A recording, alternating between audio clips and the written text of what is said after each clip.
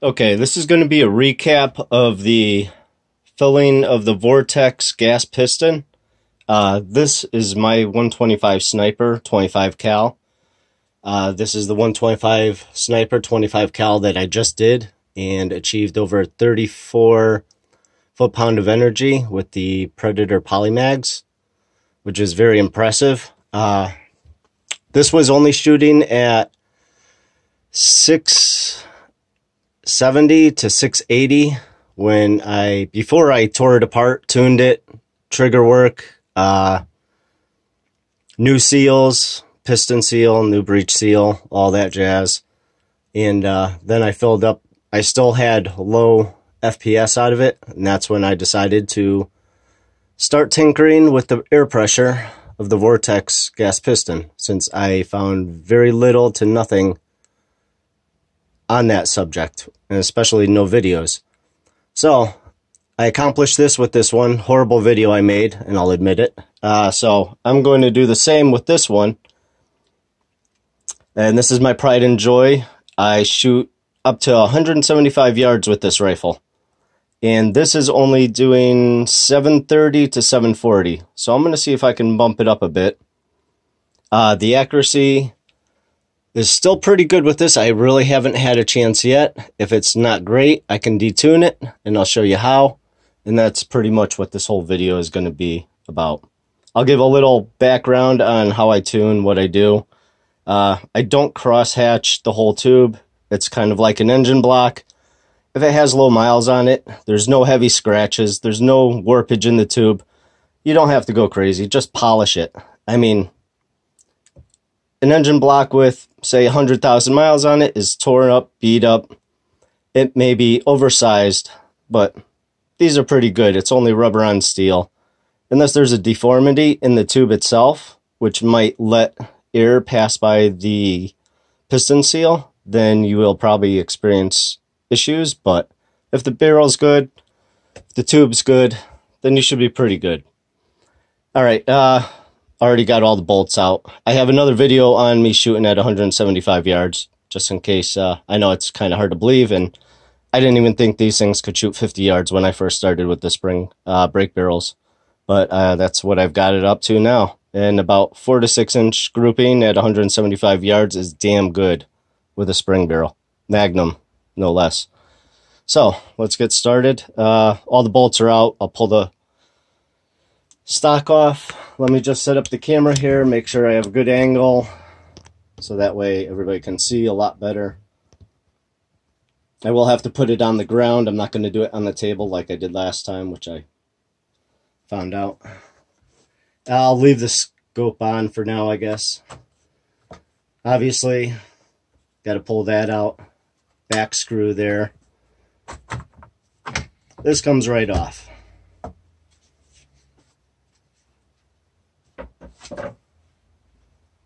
Okay, so what I found out through the other video I made, and that was first experimenting, right here there's a screw that will depressurize the gas piston, and you can leave the gas piston in the rifle, which is a great thing. On the other side, right here, is your fill tube. That goes into the gas piston. You just insert the PCP Hatsan uh, fill tube, put that right in there, and you can begin pressurizing it. I didn't depressurize the gas piston last time because it was shooting low, so I just wanted to top it off to 145 bar, which I did.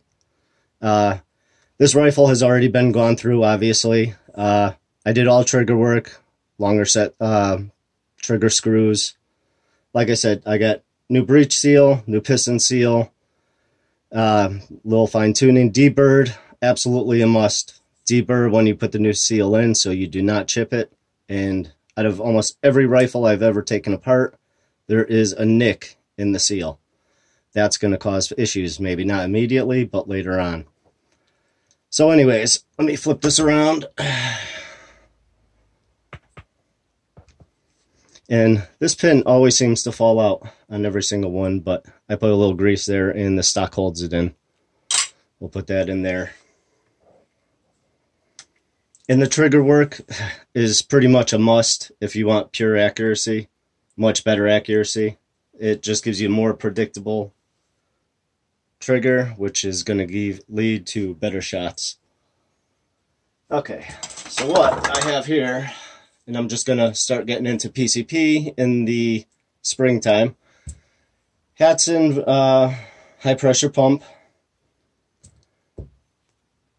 You can, which I found is just as easy if you have a scuba tank or spare gas tank, not gas tank, uh, pressurized tank. Here's my uh, fill tube. Hatsan fill probe, I should say. This easily slides into here. Yeah, not easily, but as long as you line it up good. Which I had a little issue last time too. You just got to make sure it is centered. And make sure there are no burrs. once you find that sweet spot, it goes right in. Here's the issue. It's a one-way check valve in here. So you cannot know what the pressure already is in the gas in the gas ram or gas piston. So you either have to let all the gas out. I prefer to chrony it. I did chrony this already. That's why I know I'm at 730 to 740. So I'm only about 12, 12 FPS spread on this.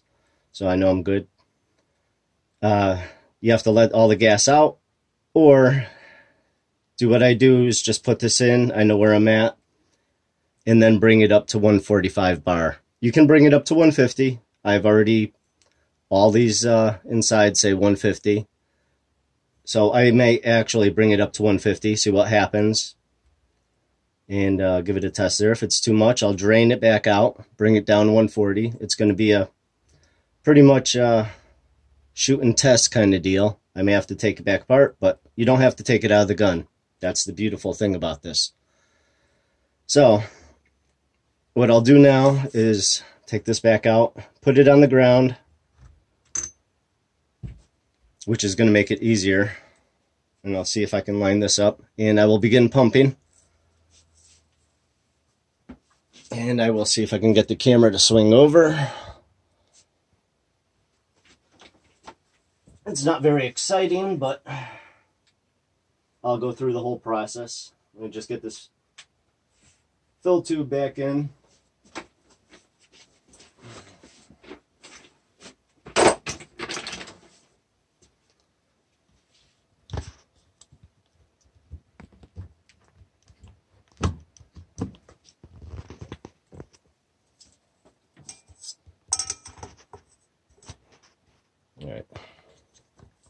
See if I can get the camera to stay. And yes, I am a newbie to cameras, so that's why my other videos sucked, and I'm going to try to accomplish better now. Okay, as long as the fill tube is in there, and hopefully I am focused pretty good. I'm going to release the handle and begin pumping. Like I said, the one-way check valve, so you are not going to know what is in there already, but all you have to do is bring it up to 145, and you know that's what will be in there. And, of course, I got to remember to tighten that screw. It does not take long, maybe 10 pumps or five.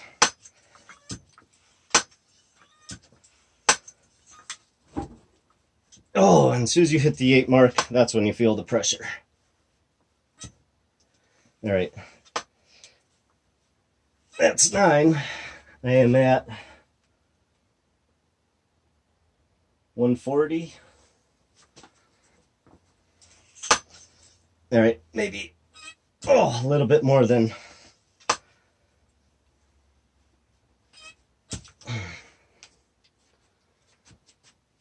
maybe 11 to 12 pumps with the hand pump. Let's see where we're at.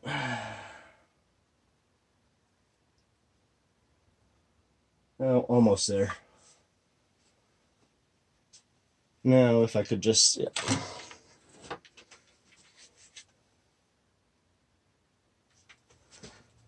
Maybe one more.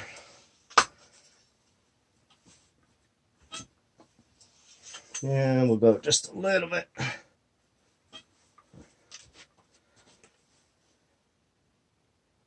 Okay, I'm going to say that's at 145. You know what, I'm very tempted to go to 150 just to see what it'll do. You know I'll go to 150 if I have to drain it back out and redo it because it's hitting too hard or too hard to pump. Then I'll do that. That is 150 right there. 150 bar.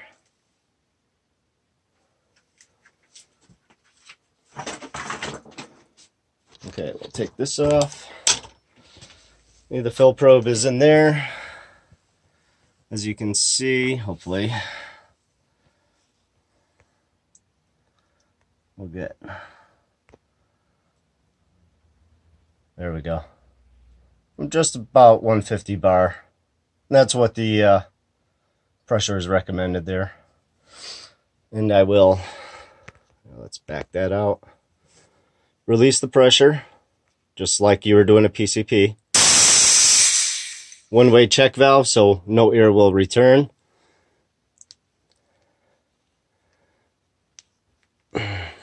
Gently, of course, I like to put a little silicone just on the O-rings and it's a little difficult with one hand.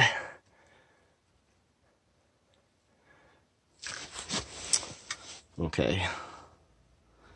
There we go. Goes much easier when you can use both your hands, but...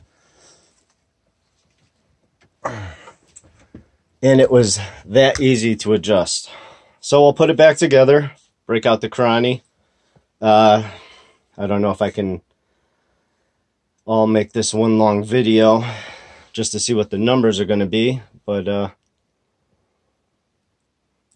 I'll tell you what, I'm going to shut it off here and I'll put in post another video and we'll see what the chrony reading is.